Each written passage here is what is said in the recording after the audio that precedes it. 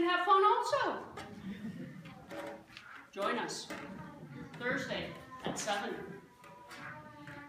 Now, every family has stories that tell the history of their family, and at the same time, those stories reveal some of the values of the family, the values that family members come to live by. And I'm going to share three stories this morning, well, the three I can share in public, around the dinner table that illustrate some of the values my family taught me to embrace. My great, great, great grandmother, Augusta Maud Butler, was married to Charles Pillsbury of Minneapolis in the early 1800s. Augusta Maud decided she didn't want to be a Pillsbury anymore, so she divorced Charles in the middle of the 19th century and moved to Hartford, Wisconsin, where she met my great-great-great-grandfather, Charles Amidon. The value I learned was to be happy and independent in spite of the cost. My grandfather, Alfred Lohr, worked a farm outside of Hartford during the farm Great Depression that began in the 1920s. His wife, Irene, died during childbirth, giving birth to her fourth child when my mother was four years old. Now, Alfred lived on the farm and raised the two oldest children, and life was never easy. Money was always scarce. But even when money was tight, if Alfred had a dollar in his pocket the day before the milk check was to arrive, he went downtown to the bakery to buy a blueberry pie. The lesson I learned was abundance. Even when we feel poor, we can have something in life that reminds us that life is abundant. Having treats is important because it reminds us to choose abundance. The last story, my mother's best friend was named Lizzie Gutchenritter, and yes, that's her real name. and my mom and Lizzie Gutchenritter loved pranks. So in the library, the high school library at the school Lizzie and my mom attended, they would sit and unscrew the heavy wooden table leg and lay it across their laps and keep the table up on their knees. Every once in a while they jiggle it just for fun. and at the end of the class, when they stood the table and the leg would clatter to the floor and my mom and Lizzie would dissolve into laughter. Now, naturally, they got into trouble, but seeing as my grandfather Alfred was on the school board, nobody seemed to mind too much. my mom would get home and he'd say, got another call from the principal. Then he'd start laughing. The lesson I, lesson I learned was don't let rules get in the way of having fun or doing the right thing. Yeah, now doesn't that seem to fit those of you who know me? I suspect each person here this morning has a family story that shares your family history and some of the values by which you were raised. These stories shape our thinking, even when we're sitting around the dinner table rolling our eyes wondering why we have to hear that story one more time, those stories shape our thinking. The Bible is filled with stories that share some of the history of our faith ancestors. Those same stories teach us the values of our faith. What we believe is important because it affects how we think, speak, and act. The story told this morning is the story about the day Joshua led the Hebrew people across the Jordan River to the Promised Land. Now, at this time of the year, the Jordan River was in flood stage. Now, today, so much water has been siphoned off of the Jordan River for irrigation by the nations around it that by the time you get to the end of the stream, where it runs into the Dead Sea, it's pretty much just a tiny little stream. But in those days, at flood stage, the river was wild and it bucked over its banks, and for looking at it with the rapids that involved, it seemed nigh unto impossible to cross. But Joshua told the priests with him to pick up the box carrying the Ark of the Covenant, that is the Ten Commandments of God, and take a couple of steps into the river. Now, we know today from the news broadcast, you don't go into any fast moving river that's more than three or four inches deep. It's going to carry you away. But these priests listened to Joshua, and took a couple of tiny steps into the river. As soon as their toes touched the water, the river stopped and piled up the water so that Joshua and the Hebrew people could cross the riverbed on dry land. Now, once they got across, Joshua told the tribal leaders to take 12 large stones, large rocks that were in the riverbed, and placed them in a circle in the middle of the Jordan River. Now, most of us know that a circle of stones, a circle of rocks, is not found in nature. So when the grandparents, the parents, the great-grandparents would bring their children back to see that place where their people had crossed into the promised land, the children would notice that circle and say, what's, what's going on? What are those stones about? And their parents, their grandparents, their great, great, great, great, great grandparents could say, those stones remind us of the day that God stopped the water so we could cross into the promised land. Those stones remind us that God is faithful. God walks with us. God protects us, and God always brings us home. Now, that's got to sound like another story we know from the Bible. Which one? Red Sea. Yeah, Moses leading the Hebrew people across the Sea of Reeds or the Red Sea, which was the first step of the Hebrew people going home to the promised land. God stopped the waters and the people walked across dry land.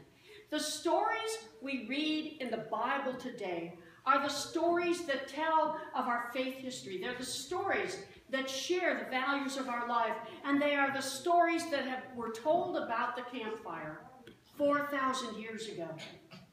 For 4,000 years, our ancestors in faith have been telling stories to one generation after the next, after the next, so that each generation would know to believe that God is faithful, God walks with us, protects us, and always brings us home.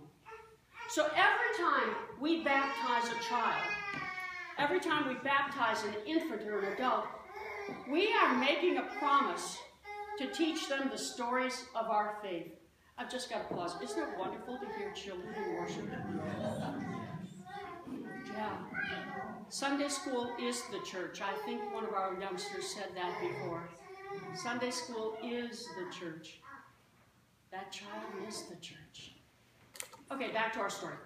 So, every time we baptize a child, every time we send a child down the hall to Sunday school, we are promising that we are going to share the stories of our scripture so that they will know our faith history, they will know our faith values. And the stories of our Bible that have been told for 4,000 years are the stories we still need to tell today. They are the stories that need to be told over and over and over again until every child, every person we know understands how faithful our God really is. The stories that are most important, the most real for us, are those with those stories that tell why we believe in God. Those stories that tell why we have turned out the way we have. The stories that reveal the values that we have come to know and love. The stories of the Bible that talk about God's love and compassion. Jesus and God's promise to walk with us, to protect us. The stories that remind us we will always get brought home again.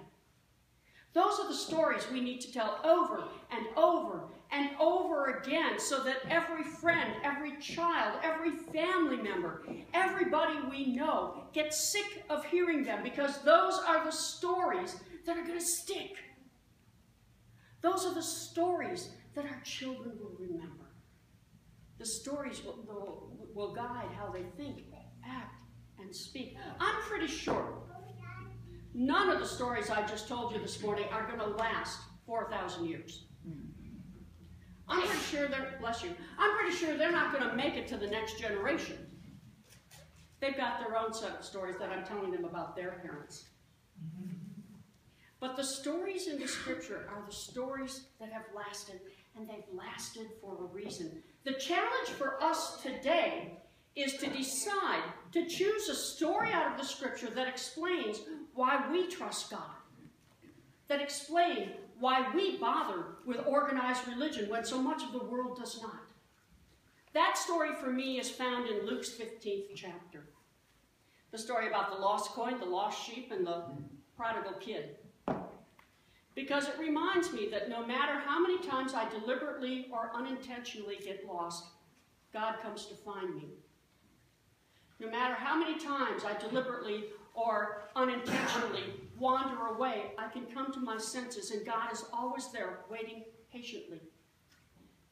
No matter how many times the church has gotten lost, and we are a flawed human organization and we get lost, God comes to find us. No matter how many times the church intentionally or deliberately wanders away from God, God waits patiently until the church comes to its senses and comes home again. Those are the stories that explain why I love God, why I believe God is faithful. But the challenge is for each of us to come up with our stories, the stories that explain to us, so that when we have the opportunity to sit down with our kids, when we have the opportunity to talk to our friends or our neighbors, when we have the opportunity to interact with the kids at the grocery store line who are ready to pitch a fit, Anybody familiar with those moments? When those kids are ready to go off the deep end, we can say, hey, I got a story to tell you. And those are the stories that change lives. Those are the stories that are the stone foundations that form the circle for our own personal foundation. Those are the stories that we can pass from one generation to the next to the next so that the stories of the Bible last for another 4,000 years. The challenge for us today is to find the story for our own lives.